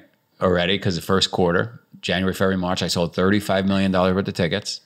They're all getting ready for their races, their training. Because how many races a year are you putting on at this At that point, I'm doing 350 events around the world, 45 countries. because because I want to make sure people understand because I didn't know this until I did my research that Spartan is like the umbrella company, right? Yep. And then you have a bunch of different races underneath it, have right? other other brands. and their and uh, other brands. So like there's So- like Anaheim Spartan, there's Yeah, yeah. So so Spartan Race has a whole series of races around the world, right? Three Yeah. mile, eight mile, thirteen mile, Right. hundreds of events uh, across all countries. Then there's Spartan Trail, which was without obstacles, trail runs all over the world. Then there's Tough Mudder, right? right. Um, then there's DEKA, which is another cool fitness event we should get you involved in I've never tried that. amazing. And then, um, and so anyway, imagine all those people signing up and uh, spending $35 million with us. And then every race around the world gets canceled. And so um, customers were not forgiving. They were like losing their minds, upset at us. And we were like, we didn't cancel the events. Right. Uh, we want our money back. Well, there's no way for me to give. I spent the money already. Like I had employees, I had trucks, I had insurance. Like people, put people that don't on. understand business think that when the event goes on that week, and that's when I write all the checks. No, the checks were been written over the last twelve months, Totally. right? And and um, so so anyway, How many employees did you have? 600. So I had to, or 500, 512 at that point. I had to um, promise all those people, those 350,000 people, that they will get an entry to another race. But you know what? I'm going to even do one better because we're not bad people. We're going to give you two races. The next two races are free on us because we screwed you because of the pandemic. So now I just gave $70 million worth of entries away. So now I gotta, when the world starts back up, put on those races and not collect any money. Right? I gotta put on all those events. Wow. So, um, so anyway, so uh, no one really understands. Like anybody out there watching or listening to this that thinks, "Oh my God, Joe made us do burpees." He's a he's. A, you have no idea the the burpees I've had to do to get this business uh, to continue on. Uh, but you know what? Like I'm not in jail. Right? Not- I'm, not in I'm not dead. No. I'm not living in Siberia. It's not 30 below. Like, and my kids are healthy, and my wife's like still talking to me. So So it's not that I- bad. it's not that bad. So wait, how did you get yourself? uh, So, but that's still happening. How did you? How did you crawl out of that? We are literally knife fighting every day. No, and, it's and, happening. and finally seeing the the light at the end of the tunnel now. Already? But how? Oh no, I I I owe um, the government uh, twenty five million dollars. I mean, we've got our challenges ahead of us, but um, but I'm dig- we're digging out. We're digging out. We're knock on wood. Um, it's um, it's metal. yeah. Uh, knock on wood somewhere. How about Knock here? How about There, here? How about here? Knock on wood. Yeah. Um, it's looking it's looking better, so it's good. Well, then you're for sure staying with me next time you come to LA. You have Yeah. to save that money on hotel. I, didn't know. realize it was I that know. brutal. I know. I wish. I wish you would have invited me. I, I- mean, uh, here I listen, am spending could- all this money on hotels just to do this podcast. oh yeah, I know. You well, you ghosted me, honey. So it's really it's you to blame. But anyway, so then how? So then it starts up again, and um, the private equity. Co- how much do they own of the business? So we before the pandemic. Who owns it, by the way? What's the private equity company? So at, at that time, it was called Raptor. Um, Okay. They were the, they were the guys that came in in 2011, 2012, but we bought them out when we bought Tough Mudder. We were on top of the world. We were feeling so good. We bought them out. oh wow. And so um, everybody got paid. I've yet to, again, I'm not asking anybody to play a small violin for me. No one should feel bad. I've got the most amazing life, amazing fan. Everything's great. But um, I've yet to take a dividend uh, from this company in 22 years. You've So, not um, made any money I've off only put money in the business. I've only put money in. I've never taken money out. So um, How are you? How are you surviving and I'm adopting three kids in, I'm in a way? literally, thank God, I made a little bit of money on Wall Street. Thank God, and I've literally been burning through savings this whole time. So um, Are you joking? no, no, Because I would have thought by now you would have been like a multi, like a multi like a gazillionaire. billion, like a billionaire. yeah, like, a like you like, should you're the pulled- founder of Spartan. I should have pulled up in like a Rolls Royce or something. yeah, Right? Or like a or like a like Bugatti or something. Something, yeah, two Bugattis. Yeah. I go towing one behind the right, Yes, like I should have had. Uh, instead, I have a goat and a chicken and a farm. So- I'm like, by the way, this is impossible. So, like, I would think the founder of Spartan, that is like the most well known, famous adventure racing company in the world, Yeah, would have like two like a pot two- to piss in, basically. Yeah, no, I had to use your toilet, I know, I know, it's true. And you have an apartment in Florida, and I have an apartment. but you have a farm. I do have a farm. How big is the farm? It's big. It's big, but I paid. Um, I mean, we're having. Look, I I go back and forth how much I want to tell you, but I I see all these people on Instagram and all these people like they're all standing in front of whether it's their own Oh, or some rented bullshit, Ferrari and all this stuff. And I was actually thinking about it today because here in the Hollywood Hills, I saw a Ferrari and I thought I am so opposite all these people that like I I show off a picture of me in a chain or a kettlebell, and they right, and they are standing in front. I said, but I thought for a minute maybe I should stand next to this Ferrari and make believe like I have a Ferrari. Maybe that would be interesting to people. I don't know. No. And and and so I bought that. We my wife and I we bought that farm in 2000. Um, we bought that farm in 2000 2001 for four hundred thousand dollars. It's a 700 acre farm. It's unbelievable. People come there and think I'm a billionaire. Yeah. It's four hundred thousand dollars. You know, you don't remember. No one remembers. Real estate used to be cheap. Yeah, it's true. You know, Right. But if you sold that farm now, you know, it's not. Um, it's not Beverly Hills. It's not New York City. It's the middle of nowhere, Vermont. And the reality is, um, not everybody wants to live in Vermont, which is why I like it so much. Right? That's why. Uh, so it's not. It's not like or Orlando. Or Orlando. yeah. But not to say And again, I'm not asking anybody. Like we we have a great life, and I could pay my bills. Um, But seriously, like how? I mean, if you were on Wall Street literally 22 years ago, and you owe all that money, how do you not take even a small salary? So so um, from 2000 to 2010, while I was building this business, I was I still had my foot in Wall Street. So I was able to pay all my bills and start this business using my money I was making in finance. What? Right? Yeah. So I still had that career going. Right. Um, But it's over now. it ended. I would say it officially ended around 2011, where it was like all in with Spartan. So it's been it's been 11 years of just burning through savings. And that's a lot of savings. It's a lot of savings. So- or, or I'm very frugal. I mean, we only eat celery. Yeah, I was going to say, right? Or big salads of like just like iceberg lettuce, even not even like the organic. You can't you go. know? Kale's too expensive. Yeah, I was going to say. So is it just iceberg or That's maybe it. a romaine if you get lucky? If it's like a Yeah. a special evening. If I'm feeling if I'm feeling frisky. Yeah. Holy moly, that's crazy. Yeah. So that that really like that blows my mind actually. It really it's not does. even it's not even believable. And and the thing is, um, most people that I mean, you know better than anybody. You've started businesses would just have packed it in. They would have just said, and I didn't tell you. In t- so we bought out our partner, but along the way in 2015 or 2016, Hearst became an investor as well. So right now, Hearst owns a little piece. We didn't buy them out. Um, they're, an ama- they're an Oh. amazing partner. We bought out the early investor. Um, Hearst is still a partner. Uh, they own roughly 18% of the company. What what's, what magazines belong to them? Um, They own a ton of magazines. They own a piece of ESPN. They're Oh. wildly successful. They've been around 100 years and they're the greatest people in the world. Um, they challenge me on everything, but they don't um, drive me crazy. So um, That's good. And they and you know, I got an immediate phone call during the pandemic and said, "Don't worry, we'll be here for you." So um, That's amazing. So, So- then you basically get um, you have Hearst as a partner. What other sponsors and partnerships do you guys have? I don't know. We got a whole list of um, sponsors and partners now. Obviously, we had more pre-pandemic, but now now they seem the doors seem to be uh, they're knocking on the doors again now They are. because the world's coming back. When do you think you can be you per- personally can start taking money out of the company and be I, I even I, a salary um, of fifty thousand? no, I, I'm sorry. I get paid. I just don't get paid like a CEO Like of, of a, yeah, yeah. exactly. Oh, so you take a salary. I take a salary. Yeah. Okay. Um, so I would say I could probably make some money. Um, I mean, we owe the government money still from the pandemic, so I'm probably 20, 25. Uh, If all if all continues on, so probably you know three years from now, two and a half, three years from now. Right. So are people then like it now because now people are itching to do something and getting out? Like, has the pendulum now swung completely the other direction, and now Yeah. you're? Gonna I mean, I would say? I would say next year I should be normalized back to what 2019 looked like. So it's not the pendulum's not swinging to a point where I was like, oh my god, this is like Yeah. it's going to just get back to 2019 next year.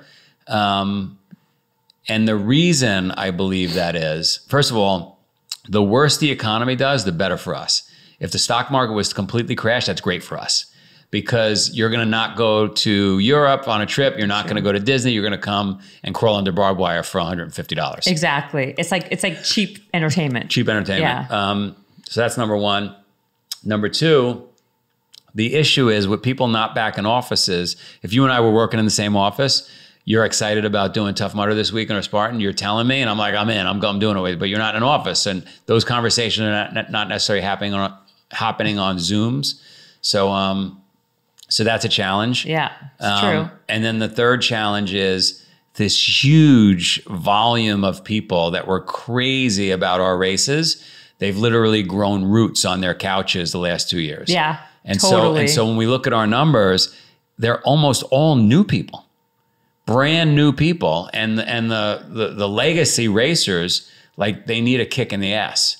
They need to get, you know, back in the game. How are you? How? What's your plan or marketing plan or what's your model to get them back engaged? We we um, we ordered um, a thousand black vans from Amazon, and we're going to just drive to their houses and and rip them off their couches. kind of like what you do with your children every morning at five o'clock. Yes. Okay. Just up. at a, if yeah. your doorbell rings three times, it's us.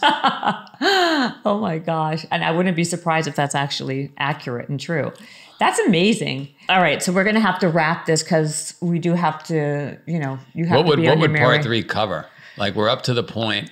We're up to the point where we covered Spartan, we covered the kids. No, I, I have like a lot of intricate questions, but I'm not even going to tell you. Then you won't Okay. come back. Okay. Right. Okay, fine. I was thinking for the audience, like what part? Why, We- why they should lot. be excited. I want to talk about your CNBC show. Okay. Right, That's which is a good big one. Yeah.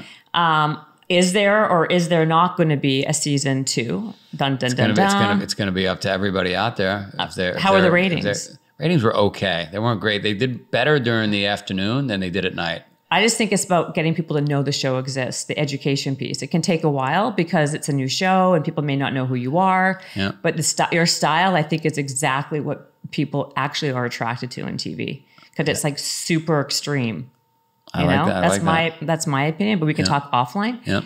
Um, there's other things too, but you know what? We're going to wrap it, and you're going to come back. This is now going to be part three Part three. with Joe because he's so you're so amazing. I, Thank you. I am like Thank this you. is one of my favorites of favorites because you're so hardcore and like so nice at the same time. You're like I, you're so likable. You got to tell my wife. She thinks I'm. I'm gonna too- call her and yeah, tell you her. should call her. and I will give you Yeah. her number. I'm Yeah, serious. I'll text you and her. Yeah, please do it. All right. I mean, this okay. So just for the okay, so as you're texting me your wife's phone number, how do people find if they want to do a Just, Spartan um, race? Yeah, yeah. So anybody out there that's a friend of yours, um, let's see. Uh, I'm going to give you all until September 15th. Not Um, a friend of mine because maybe this won't be up at that point. Tell them about where to look into Spartan or. Well, you. you could just send me an email. Uh, if you write me an email, it's got to be one or two sentences only. If it's longer than I'm not going to read it. Joe at Spartan.com.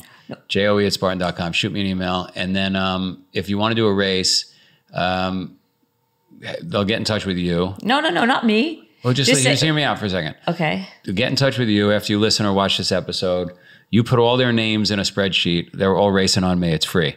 Um, but but don't keep it out there forever. You got yourself in trouble the first time with this $70 million thing. Why would you do this again? I don't mind. It doesn't matter. Okay. Um, happy to do it. Um, at the end of the day, when I think about why I do this, it's because of the emails I get that say, Hey, I'm back with my husband. I'm back with my wife. I lost 300 pounds. I no longer drink. I no longer do drugs. It really doesn't have anything about the money. Like if you receive those emails, that's current. That's how I get paid. So, um, do I want to be sustainable and be able to make my payroll? Of course. But, but, um, I got to pinch myself. I got the, I'm the luckiest person on the planet.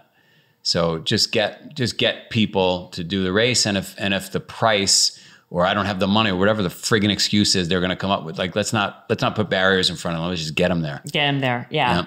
Um, and if you want to look, if you want to like know more about Joe, go. He's on now social media all the time. He's doing live workouts. I don't know if you're still doing the No, live I workouts, I don't do them anymore. But your content is great. Thank you. It's at Joe DeSena, D E. Oh, it's at um at I don't even know what it is. At real Joe DeSena, maybe.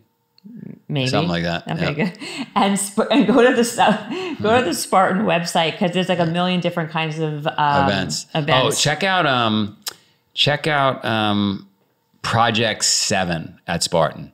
Check out Project Seven. What I did was I assembled our seven toughest events around the world, and I challenge anybody out there to to tackle one or two or five or seven of these.